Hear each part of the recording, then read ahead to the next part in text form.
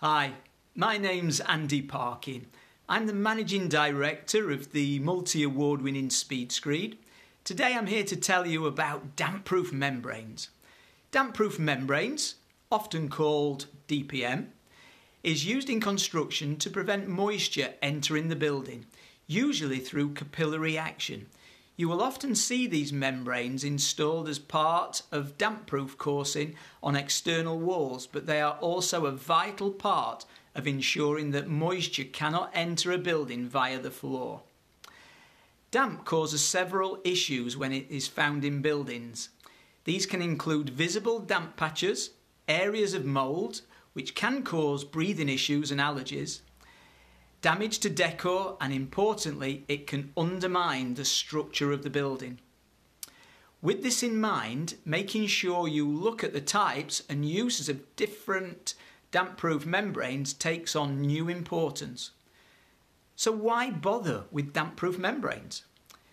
Most of the issues with persistent damp within buildings result from the build-up of condensation on surfaces and within the fabric of the building, damp entering from the outside and rising damp.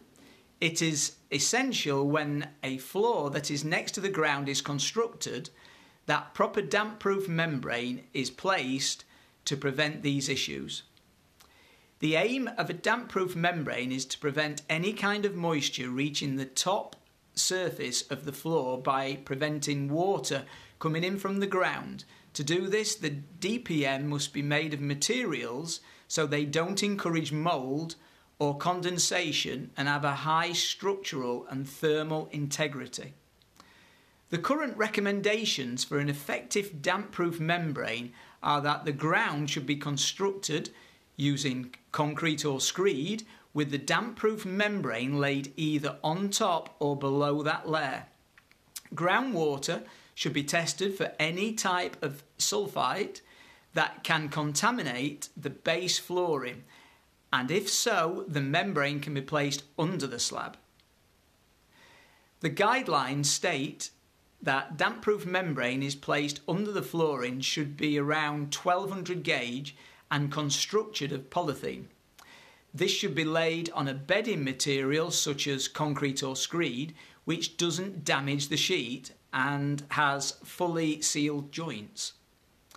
If the damp-proof membrane that is to be laid above the base level, it can be polythene sheets or at least three coats of cold applied bitumen solution. After this, screed should be laid to protect the damp-proof membrane. The only exception uh, to this is where a specific damp-proof membrane is used which is designed to act as a final floor surface. Any insulation that is used beneath the damp-proof membrane should have a low absorbency to avoid taking on water and should also be resistant to any uh, contaminants that might be present in the ground. If the planned uh, finish is a timber floor, then it is possible to use specific damp-proof membranes that can act as, uh, as damp-proofing. Any timber laid directly in the floor base must be treated with a preservative. This wouldn't be needed if the timber is placed above the level of the damp-proof membrane. This is only a brief look at the damp-proof membrane and its, and its vital role in maintaining the integrity of domestic, commercial and industrial structures. If you have any more information, we are always available and happy to give you advice on the best way forward for your project.